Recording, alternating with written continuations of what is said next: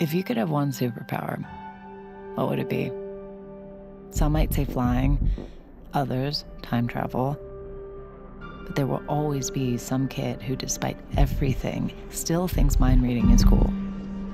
Well, kid, I can tell you firsthand it's not a superpower.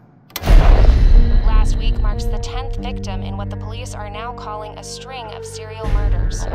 While I can't say for sure that this is the work of a reader, I'd like to remind you all to practice mind reader awareness. Did you know about this? They're looking for mind readers again.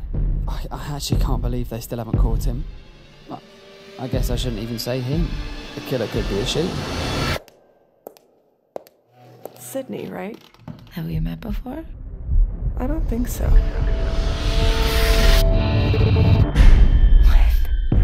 Why can't I read her?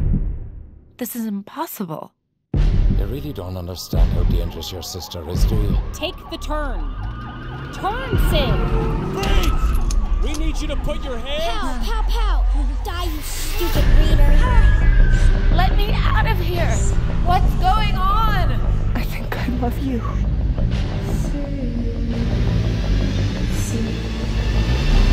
Wake up! Hard to remember my life before.